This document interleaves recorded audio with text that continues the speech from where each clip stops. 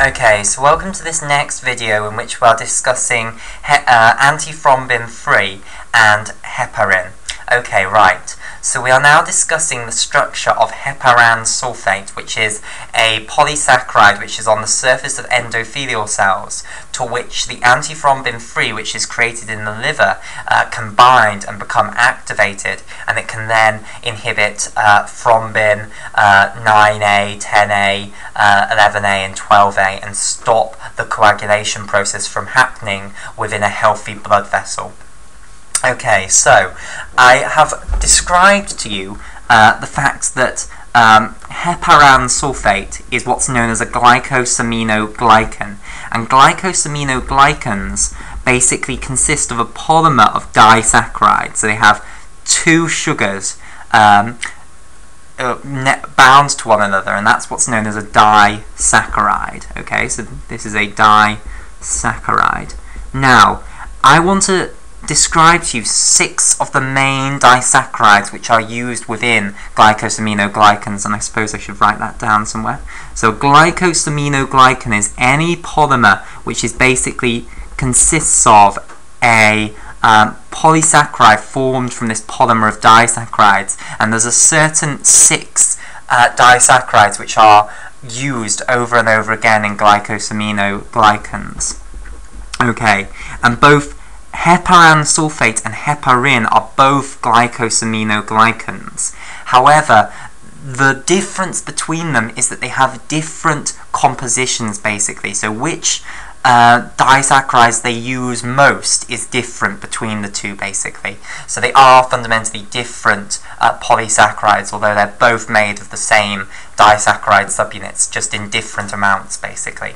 So let's now discuss, without further ado, let's discuss the uh, main uh, disaccharides which make up glycosaminoglycans. Okay, so number one, we're the six of them basically. Now the first one in this first position, so I'll put, label this as position 1 and this is position 2. In position 1, what it's going to have is glucuronic acid, and glucuronic acid, its abbreviation is GLCA. So remember what glucuronic acid is. If I get my picture, we drew it earlier. So it's this structure here. So there are these two optical isomers of it. We don't mind which optical isomer you're putting in. Uh, the point is that you have this um, carboxylic acid group coming off uh, the fifth carbon basically. And this is um, this is the sixth carbon. The carbon that's involved in the carboxylic acid group is the sixth carbon of uh, the glucuronic acid. And the uh, abbreviation for glucuronic acid is G for glu for this G here L for the L here and then C for the glucose there, and then A for acid, so GLCA is the abbreviation for glucuronic acid. So in position 1 you put glucuronic acid, and then in position 2, remember where I told you you usually put an amino sugar, so I'll just put the general rule. The general rule is that in position 2 you put an amino sugar, okay, and in position 1 you put a uronic acid or galactose, but none of the disaccharides we see are going to have galactose in position 1. Okay, so you have glucuronic acid in position 1, and then the amino sugar that you're going to have is glucose, GLC, and then N-acetyl. So this is the abbreviation for N-acetylglucosamine. Now you may well see another abbreviation used for N-acetylglucosamine. N-acetylglucosamine is often abbreviated to NAG, specifically when you're looking at things like uh, peptidoglycan, where N-acetylglucosamine is extremely important. You'll hear it just abbreviated to NAG. Now that's confusing and that's unhelpful. The reason being that if you look at N-acetylgalactosamine, it would have those same initials. So it's better to use this abbreviation here to have GLC, which means glucose, and then N-acetyl there. So this is the N, this is the acetyl. So basically what you've done is you've got glucose, so this alcohol group's going into the board away from us, and then in this position off this second carbon you've got an amino group which has then got an acetyl group bound to it. So that's what you've made in this to, uh, to produce this disaccharide and you've linked the two together via a glycosidic bond, i.e. you formed a condensation reaction between two of these sugars, okay? So um, on the um, right-hand side of one sugar, so let's take our, for instance, our glucuronic acid. In fact, we'll draw this out. We'll draw this out. So here's one of our um, disaccharides here. Okay, right. So um, we'll take our we'll take our glucuronic acid first. So let's draw our six-membered ring here. So here's our oxygen down here, and then here's the rest of the six-membered ring. Right, and the important thing about glucuronic acid is that you've got this carboxylic acid group up here. Okay, there's that carbon, the carbonyl group there, and the alcohol group off here. Okay, then um, this is based on glucose, so this alcohol group in this position is going into the board away from us, the alcohol group on this position uh, 3 here is going out of the board at us, okay, and the alcohol group in position 2 is going into the board away from us. And now, the alcohol group in here is debatable as to whether it's the alpha or the beta isomer. I think we'll choose the beta isomer, so we'll have it coming out at us, but there's no particular reason that I've chosen that. So here's the oxygen, and now what's going to happen, in fact I'll leave it as the alcohol group for now, and I'll show the reaction actually happening. So then, in this neighbouring position, what we'll have is another six-membered ring here. Again, with these five carbons and this single oxygen up here. Okay, and then this again is based on glucose, so the alcohol group will come into the board away from us. Okay, and then all of these alcohol groups, they'll be fine. Okay, so this alcohol group is coming out, out towards us. Then we've got an amino group coming down here. And this amino group then has the acetyl group bound to it. So here is the carbonyl group, and then I'll also put this methyl group, and I'll have to put it side along like that just to get it to fit onto the paper. And I'm sorry you can't see this. Okay, right. Now, then, um, again, we can choose our isomer. I'll just have it coming out of the board again to keep things nice and simple. So we'll choose the beta isomer of N-acetyl glucosamine. Okay, and then this carbon up here, the sixth carbon of this ring comes out of the board and then has an alcohol group coming off it. Okay, so basically what we'll do is we'll bring this one slightly above this one in reality because we need these two alcohol groups to be nearby. And since one's going into the board away into the page away from us and one's coming out at us we'll have to bring this one slightly above that one. Then what we'll do is we'll perform what's known as a condensation reaction. We'll take a hydrogen off one and an alcohol group off the other okay? We'll bind this hydrogen to this alcohol group to get a water molecule Okay, so H2O, and that's why it's called a condensation reaction, because we are producing condensation, basically, or water. Okay, um, so then what we'll do is we'll link this oxygen off this first carbon of the glucuronic acid to this carbon, the fourth carbon of the N-acetyl glucosamine, and that bond that was formed by this condensation reaction, that's what's known as a glycosidic bond. Okay? Right, and this is a condensation reaction. Okay, so that's how you form this disaccharide, and then when you're going to link the disaccharides to one another, imagine taking another one of these and putting it neighbouring to this one. You can then perform another glycosidic bond on this side, and of course you can perform a glycosidic bond on this side, so that's how you'll link disaccharides together to make a polysaccharide. Okay, so one of these most important um, um, disaccharides which are used in glycosaminoglycans is this glucuronic acid bound to the N-acetyl glucosamine. Now, we'll go through the other uh, five now. Okay, I won't draw them all out like I did that one because it'll take too long. Okay, so the second one then.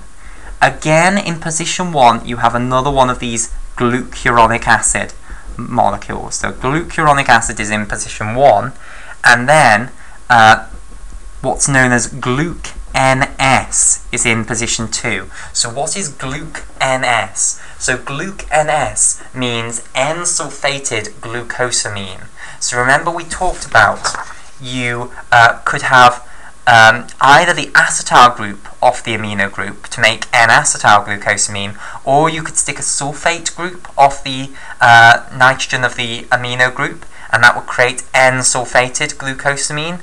Uh, that's what you've got in this case. So the abbreviation for N-sulfated glucosamine is to have GLC and then NS.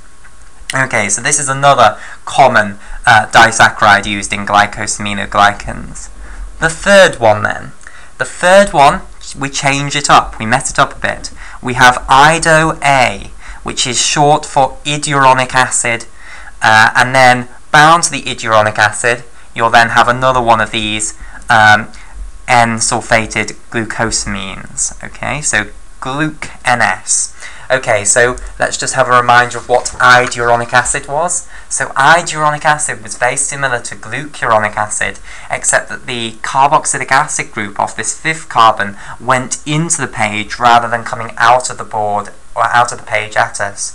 Okay, so you have an iduronic acid functioning as your uronic acid sugar, and then as your amino sugar you then have this N-sulfated uh, glucosamine here. Okay, so that's your third uh, disaccharide. Now it's going to get a little bit more complicated. Okay, so we're going to look at ones that I actually haven't shown you the structure of, but which we can easily deduce what the structure of is. So we're going to have IDO-A, okay, iduronic acid, but then you put 2S here. So what does that mean? That means 2O sulfated iduronic acid. So this is in full is 2O sulfated iduronic acid. And let me explain how you can create 2O sulfated iduronic acid. Okay, so you take your iduronic acid molecule, okay, which we'll go back over the page to have a look at. So here's our iduronic acid molecule. Here's our second carbon with its alcohol group off. What we will do is take the hydrogen off that alcohol group and bind a sulfate group to it, one of these. And we'll then have 2O sulfated iduronic acid because the it's been sulfated, it's had a sulfate group added to it, and it's added it on onto an oxygen, which is where the O comes from, and that oxygen was the second of the second carbon, basically. So that's what IDO-A2S means. Okay, and it's now bound to something that we know, thankfully. So it's bound to uh, N-sulfated glucosamine again. Okay, so fifth disaccharide that's important in glycosaminoglycans is IDO-A, so iduronic acid again, okay, but this time bound to something more complicated. This one gets very complicated. Glyc-NS, this is going to be the most complicated one we're going to see. 6S. So what does this mean? So what is this? This is 6O. This is basically a, a um, monosaccharide, a sugar, which has two sulfate groups. So it's 6O sulfated and then N-sulfated glucosamine. So it's got one um, sulfate group coming off the um, N, the amino group of the glucosamine, and then it's also got another sulfate group coming off the um, off the um, alcohol group off the sixth carbon of the glucosamine. Okay, so let's go back to our structure of glucosamine so that we can understand what we've done here. So here's our structure of glucosamine. Okay, so we're talking about glucosamine rather than galactosamine. So we've got the alcohol group going into the board, well, into the page away from us. Okay, now we've put an amino group on here, and that's sulfated. So that gives us N-sulfated glucosamine. What we're then going to do is go to this alcohol group off the sixth carbon up here, and we're going to take that hydrogen off and bind a sulfate group onto there, and that will give us 6O sulfated, N-sulfated glucosamine, which is this glyc NS6S. Okay, so that's that fifth disaccharide there. And then finally, the sixth disaccharide, which is commonly used in glycosaminoglycans, is that you have IDO 2S, uh, sorry, IDO A 2S again, so you have 2O sulfated iduronic acid in the uronic acid position, and then you have another one of these uh, 6O sulfated uh, N sulfated glucosamines again, so glyc oh sorry, now I've put gly, that's wrong. So glyc, GLC, NS, and then 6S again. So that's an iduronic acid with a sulfate group coming off the second uh, alcohol group, and then uh, a glucosamine with a sulfate group coming off both the amino group on the second carbon and also off the alcohol group on the sixth carbon. Okay, so these are the six disaccharides which are generally used within glycosaminoglycans. Now this is not an exhaustive list of all the disaccharides which are used in glycosaminoglycans, but these are the six main ones. So what you're going to do is you're going to take these disaccharides and you're going to polymerize them together, and when you do that, you get what's known as a glycosaminoglycan. Now depending on how much of each um, disaccharide you use, you'll create a different glycosaminoglycan and we'll continue this discussion in the next video.